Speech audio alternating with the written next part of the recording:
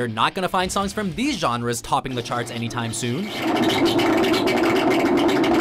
Welcome to WatchMojo.com, and today we'll be counting down our picks for the top 10 weirdest music genres. For this list, we're looking at the weirdest, most bizarre, and obscure music genres we can find. This isn't a judgment on the quality of the music or musicians that make up these genres, just confirmation that they're not at all conventional.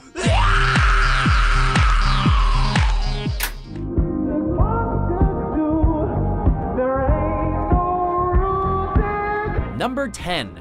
Vaporwave. A lot of these genres are going to be tough to define, and this format is no exception. Its heart a satire of consumerism, Vaporwave emerged as a genre in the 2010s across various online music communities, beginning with artists such as James Ferraro and Vektroid, just to name a few.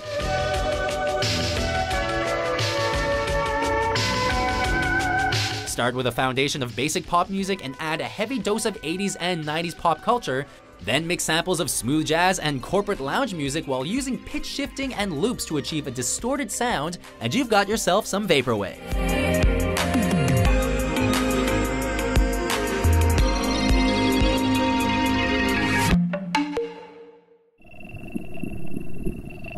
Number 9. Lowercase. Today's popular music is all about dense, catchy, overwhelming beats and compositions. You know, hooks and massive choruses. But, by contrast, Lowercase asks listeners to experience sounds drowned out by the auditory clutter of the world. Lowercase artists digitally amplify natural sounds like anthills and flowers growing, taking a microscope to sounds otherwise imperceptible to the human ear. Others, such as Steve Roden, isolate everyday situational sound, like the handling of paper or the sounds of a quiet library. Minimalist and ambient it may be, but Lowercase is unlikely to top the Billboard charts anytime soon.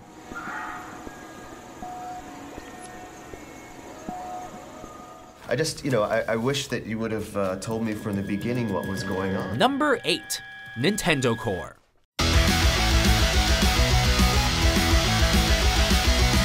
In the early 2000s, Horse the band jokingly coined the term Nintendo Core to describe their unique style of music, which combined metal and 8-bit video game inspired synth.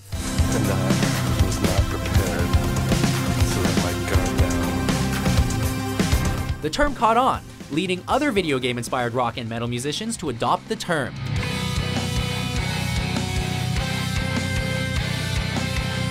Nintendo Core's ancestry can be traced to chiptune, a genre of music spawned in the 1980s that incorporated 8-bit synth from the video game world and EDM-like tempos.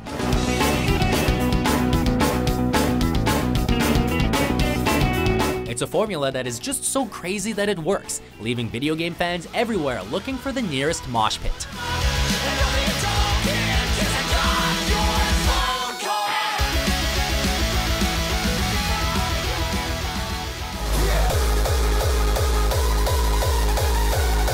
Number 7.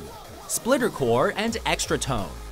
Hardcore techno and gabber were among the first EDM subgenres to push the number of beats per minute in an aggressive direction. But Splittercore and Extratone make them look tame by comparison. Both Splittercore and Extratone fall under the larger umbrella genre of Speedcore, which is defined as any EDM where the BPM exceeds 300 beats per minute.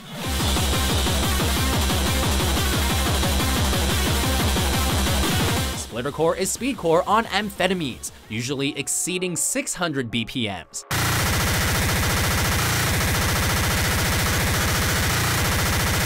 It pushes the boundary of recognizable EDM to its very limits, and then Extratone demolishes those limits, going beyond 1000 BPM.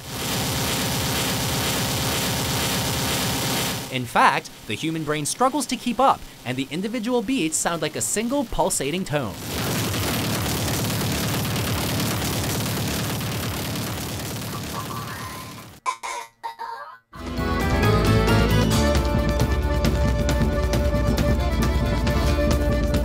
Number 6.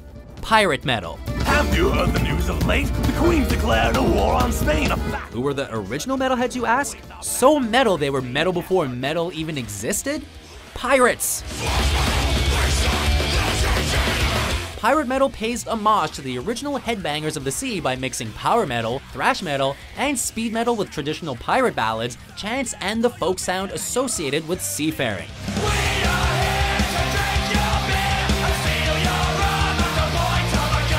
Lyrically, pirate metal is all about buried treasure, rum, kidnapping landlubbers, and other pirate pastimes.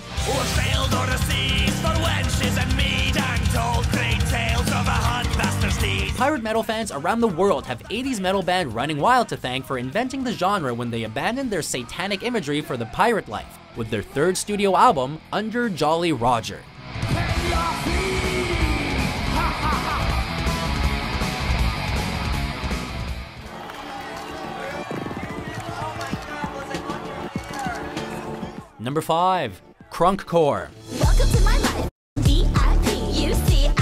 You looking at me. There seems to be a clear correlation between weird music and genres that end in core. In this case, our hybrid genre combines crunk music with screamo and emo. This is usually achieved by pairing vocal styles more commonly used in emo and screamo with electronic beats similar to those found in southern hip hop.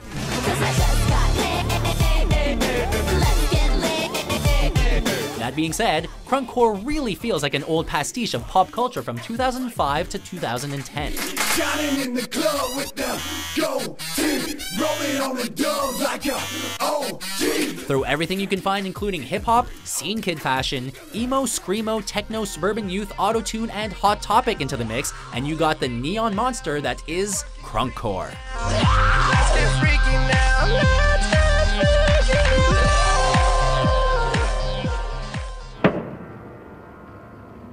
Number four, avant garde.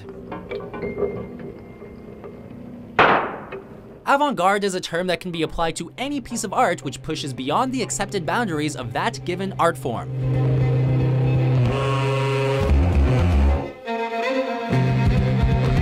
In the case of music, it's difficult to set any specific set of characteristics. But a number of composers from the 20th century rose to prominence by radically altering the definition of music, and came to be commonly known as avant garde composers. Among them are Arnold Schoenberg, who worked with serialism,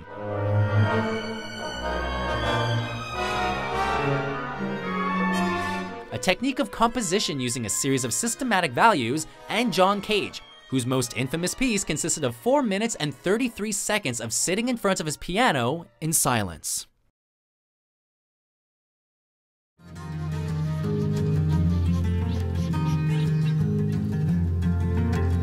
Number 3. Catholic Psychedelic Synth Folk. Daybreak touches my face. Psychedelic synth and folk music feel like an unlikely pairing to begin with, but add Catholic symbolism to the mix and things get really weird. The 60s and the 70s resulted in a lot of experimentation, but this genre stands out from the crowd. Sister Irene O'Connor's Fire of God's Love, Songs to Ignite the Spirit, sounds innovative and experimental even today, without considering that it was recorded by an Australian nun living in a monastery in 1976. Ask the Lord to show you right from wrong, as well as true from false. Do not be weak, but strong. Musicians Pastor John Rydgren and Emily Bittinger each made significant contributions to the genre with their respectively trippy releases Silhouette Segments and Emily. Number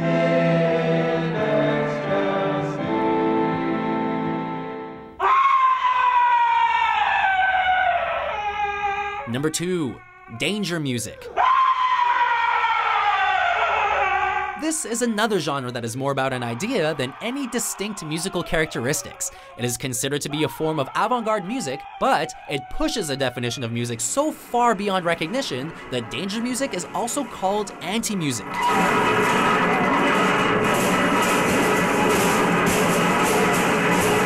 Confused yet? You should be. Danger music is defined by one thing the theory that some music can be inherently dangerous. Is he going to hurt himself and that kind of thing? So, that, and, you know, everyone thinks of glass and they think danger, like broken glass. Musicians creating danger music prove this hypothesis in various ways, such as playing loud enough to deafen an audience.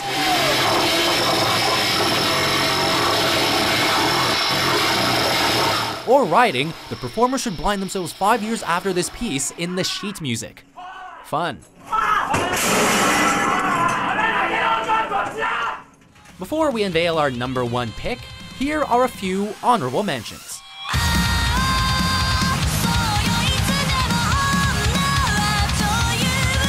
I'm British. Like a clotted cream tea, apologetic Morris dancer, then you must mean me. I'm British. Yours spit slip game, slip game to the brothers when I hip hop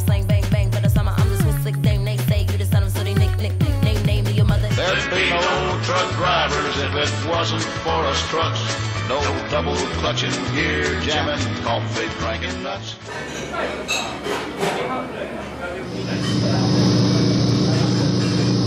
Number 1 Japanoise. Noise music is produced all over the world, but no one does it quite as weird as the musicians of Japan, who have developed a distinct and highly regarded noise music culture known as Japanoise.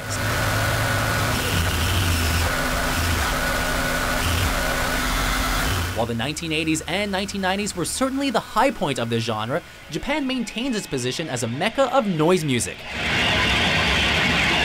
The Japanoise movement encompasses many subgenres of noise music coming out of Japan, from the tabletop electronic noise of MSBR or the incapacitants to more punk inspired Japanoise artists like Ruins.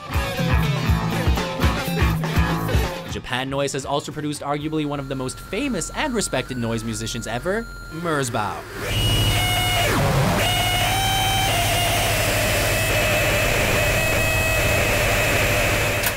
So, do you agree with our list? What's the weirdest music you've ever had the pleasure or displeasure of listening to?